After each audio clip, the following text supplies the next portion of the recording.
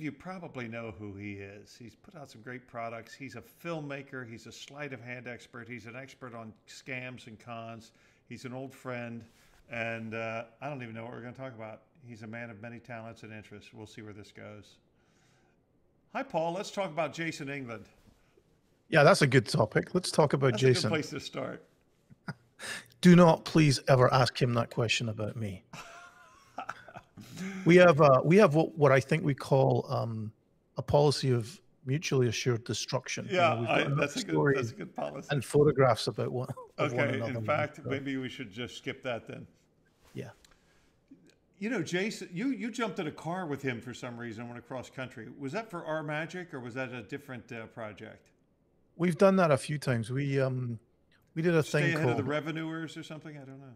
It, a, a lot of it was that um to have any revenue at all at one point. I think I think um we did a thing called the Unreal Work years ago, which is a disc where Right. he recorded some stuff, I recorded some stuff. We had it edited together by the Buck twins, and we did it. We took it to some lecture in Vegas or something, and then we decided to um, expand on it. And one of the things we did on the second one was we jumped on a on a train from Denver to Chicago, and um, we, we filmed ourselves late at night on the you know in the ca- in the in- Well, you listen, know that carriage that I've never done that. How and- was the train ride from Denver Right. to Chicago? I bet it was beautiful, right? It was really, really great, except for the fact that you know we had to get up in the middle of the night and film when everybody else was asleep. You but made that at work. I'll tell you what, it was a great ride. But the ride going the other way apparently is better. Just you know, you see better. more. That's what I, I don't know why it's the same well, way, but that's probably because it telling me. doesn't include Jason England. He's already Maybe. off the train. maybe. But that was a, that was a cool trip, and it was a it was a, a nice product. You know, we um uh we we had a form of fun doing it. was that uh, what was the first time you started making films? So was that was like your magic filming magic projects? Was that was that how you kind of were your entree into filmmaking, or did you have an interest in an avid filmmaking background before the magic thing took off? Magic was definitely um, a kind of substitute for not being able to do film when I was a kid because I didn't have the opportunities. There was no film school I could go to. I didn't have the support, and I loved magic, of course, and was. I I actually think now that I've had the opportunity to go into it, that the two are so closely related that it I really was a, a good substitute. You know? and magicians. Yeah, I mean, the, the thinking is very similar. You know, it's not. it's all uh, the one ahead principle, right?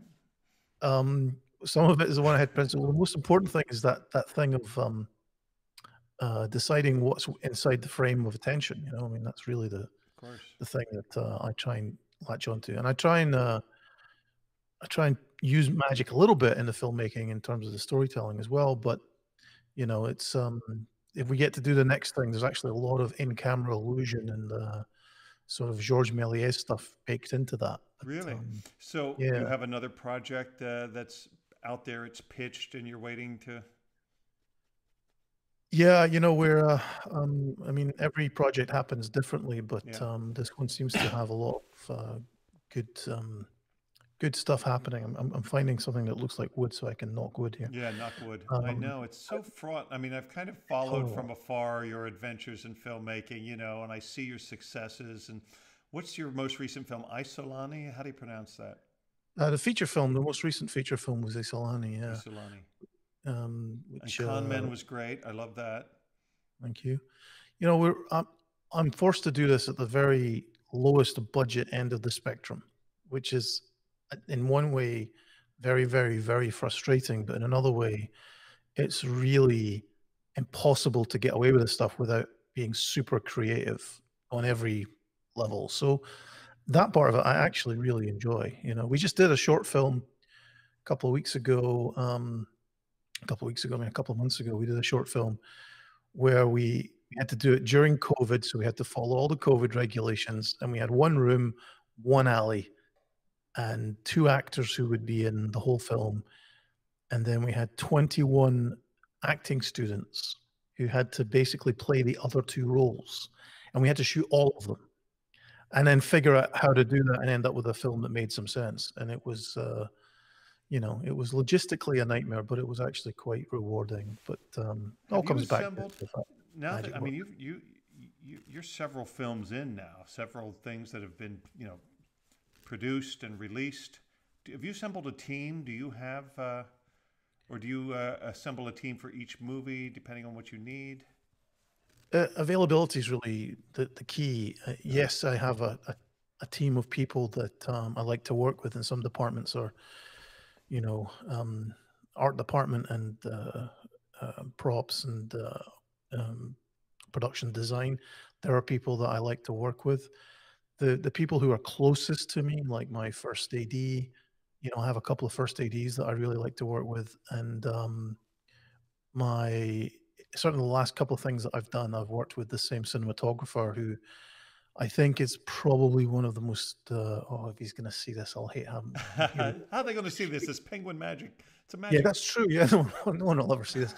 Um, I think he's one of the most talented young um, cinematographers. In fact, uh, our film Isolani was the, I think, the only Scottish movie to ever be nominated at Camerimage, which is kind of like the Oscars for cinematography.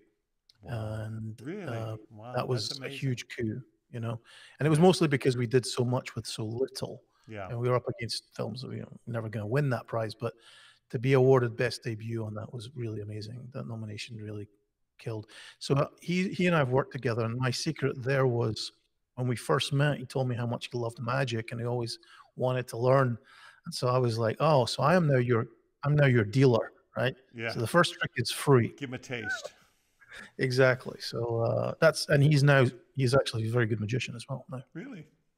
Yeah. Well, that's cool. So you, you know, you because you know, working with the same people, you guys have shortcuts. You have a little shorthand. You have you speak the Mhm. same language now. Get things done. Yeah. Yeah, I I have a really simple policy um, for everybody that I work with. Everybody knows it, um, which is it's my way or better, which is to say that I don't any any suggestion is good if it's better. I've, if you just think we should do it differently, I don't care. But what that means is is that if I'm lucky, I have a way to go in with it, and everybody else has a better idea. Yeah. if I'm really lucky, I'll, I'll come Yeah. out with a. Um, Wow, what a and great that's way to approach. That's a great attitude to approach any kind of creative endeavor. You know, when we're you're working with a team, my way or better. Yeah, you need a general, but if you got a better idea, Yeah, but you know, you got to open the door because, um, you know, it, it doesn't matter who, who or where it comes from, but um, you want people to feel like they are part of it. Um, and especially when you're doing it for so little money and they're doing it for so little money, they have to feel like it's something they're doing rather than something they're just working on. Now I know it's not your film, but I really loved uh, Shade, Mhm. and y- you worked with that uh, with with Damien. You worked on that Yeah. film. Mhm. How, did you work in any Shade- Shade was capacity beyond? I mean, you did a lot of the technical sleight of hand.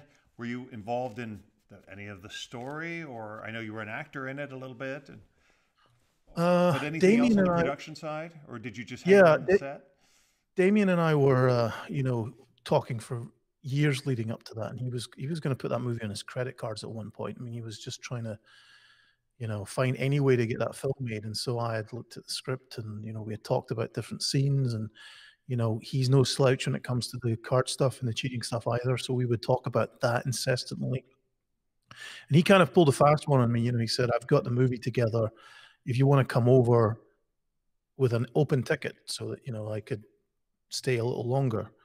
Um, so I came over for two weeks and I stayed for months. I mean, I was there for months.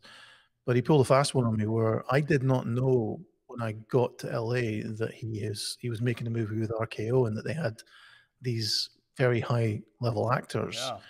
Until we went to that- dinner one night and Stallone walks in and Byrne Gabriel and Byrne in. Stallone and- and Jamie Foxx early in his career, and Yeah, yeah. And you know, I I was um was Melanie Griffith in that? Melanie Griffiths was in that, and uh, you know, it's it, when I look back at that movie and you see all the people. Mark uh, Mark Boone Jr. was in that, and uh, Hal, Hal Holbrook played the professor. um, Hal Holbrook was amazing, um, Amazing. really astonishing, and it, it was the perfect.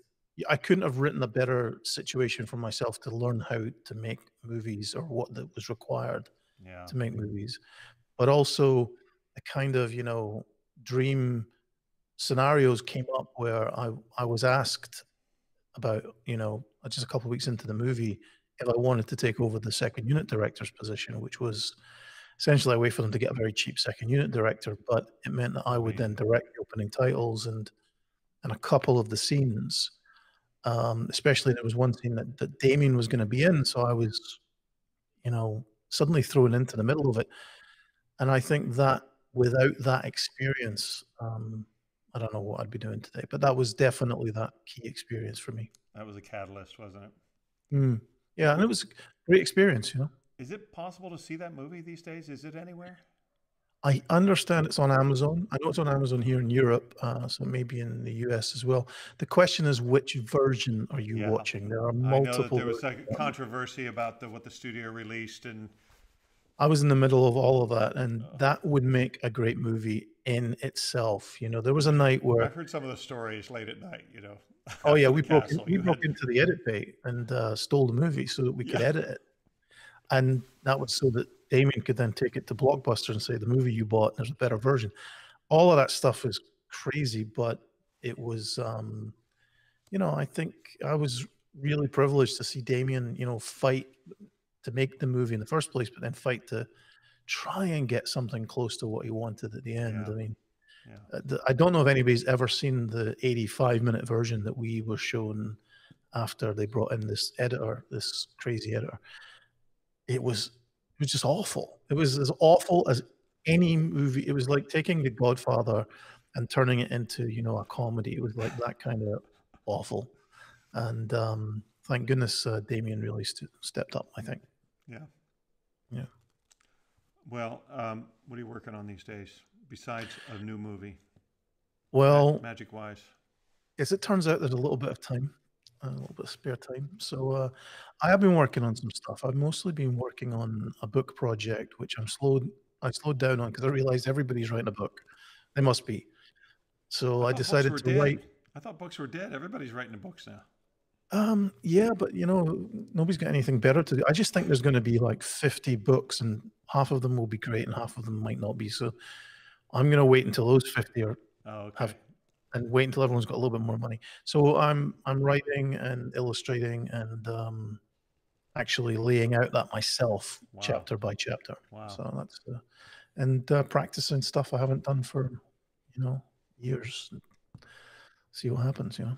Tell me about here's you know there's two people I regret I never got a chance to meet while they were still alive, and one was Fred Kaps, and one was uh, Roy Walton.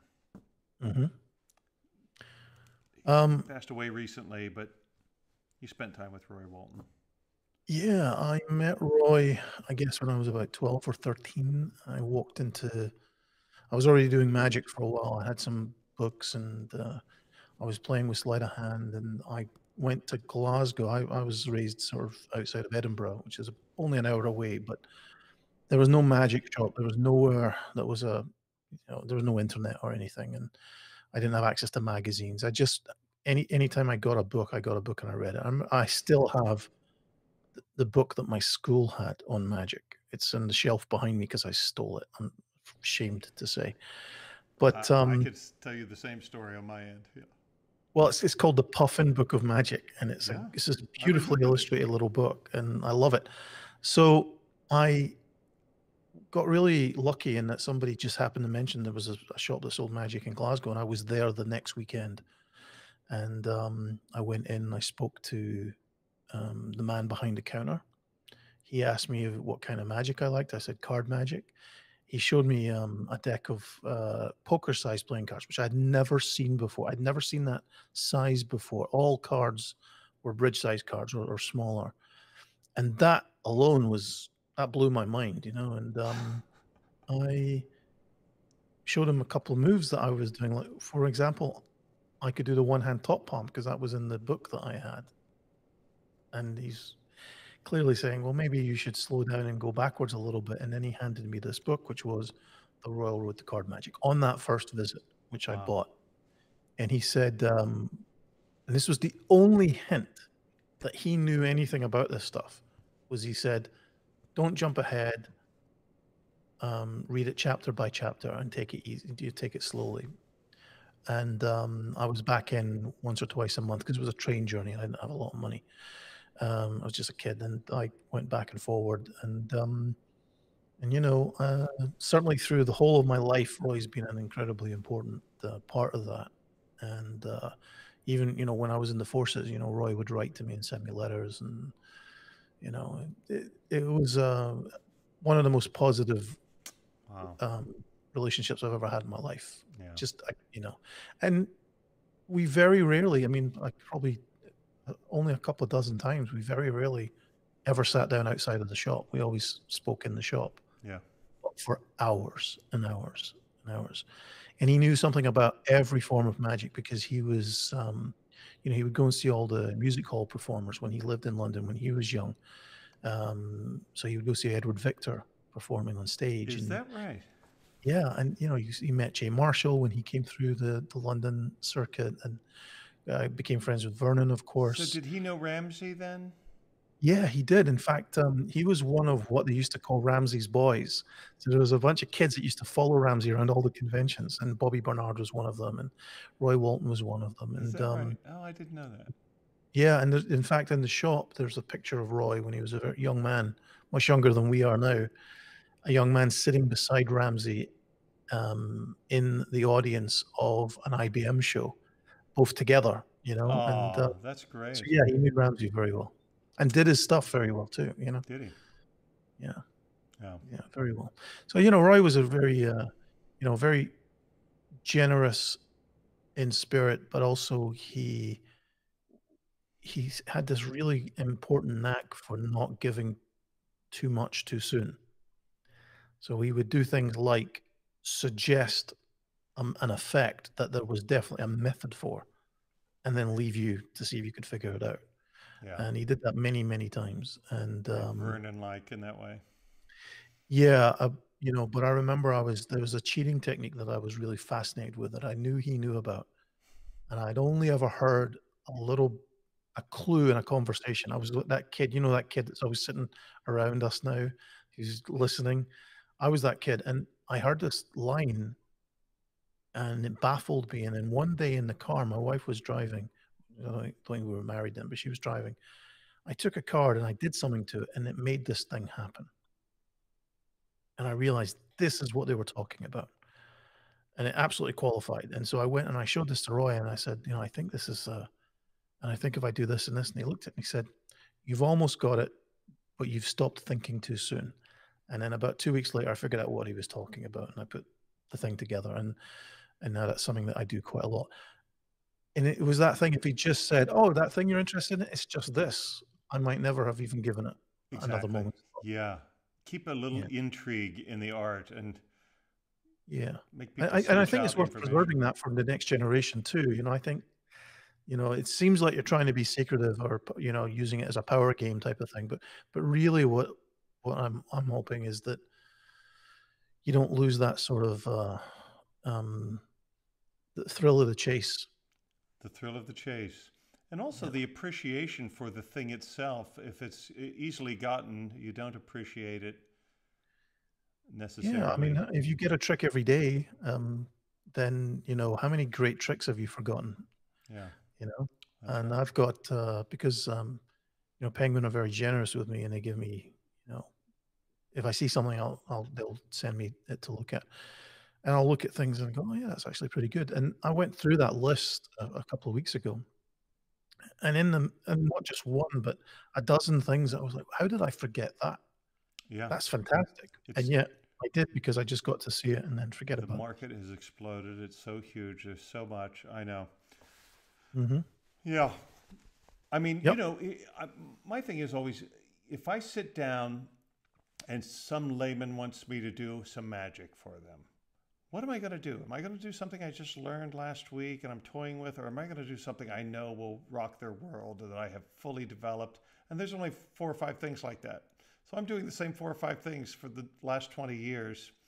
And uh, it's like it's going to take something pretty great to knock one of those out of my top top five. But I, think that's the way it should be, though. yeah, I think I think way so it should too.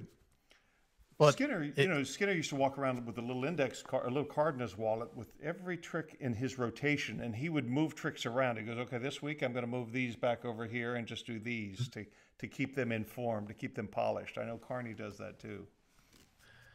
I I would need that. I don't have the memory for tricks that I used to have, unless if you're in a session with someone and somebody does one that reminds me of another one, I can do that for hours. But Yeah. you know, they have to start the ball rolling because it's different.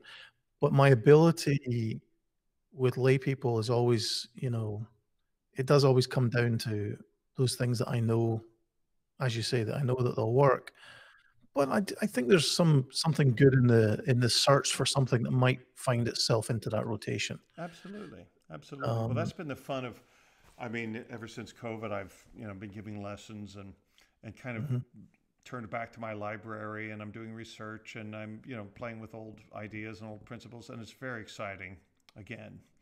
And uh, Yeah, yeah. I actually I'm reading some of these things behind me, and uh, you know, there's books back there that I remember reading, and then I pull it out and I realize I don't think I read this or I don't remember this at all, and it's yeah, it all comes back to life again. And you know, and books are a much better source for me, and I think for anybody who takes the time to develop that muscle, uh, the reading muscle, they're a much better way to explore ideas because I always find, and I think that you might be the same. I read a book and you know, I read the trick and the trick is unfolding and I'm sort of reading what's happening. And then my brain jumps ahead and says, Oh, it must do this. yeah, And then it doesn't do that. And then I go, Oh, that's interesting. And now I scoot off in that direction and I've I've got a new toy to play with, you yeah, know. exactly. Um, That's right. Yeah, it unfolds uh, uh, as you read it, and also you start imagining yourself doing it rather than watching someone else interpret it. yeah. It becomes And that- that's that way. that's hugely important. But I don't think we should expect people to have to do that at the very beginning. I think No, that I uh, agree with you. Yeah, they, they should definitely be allowed to, you know, I think I think the way people come to magic and learn magic is changing, and I I do, I do think it's for the better.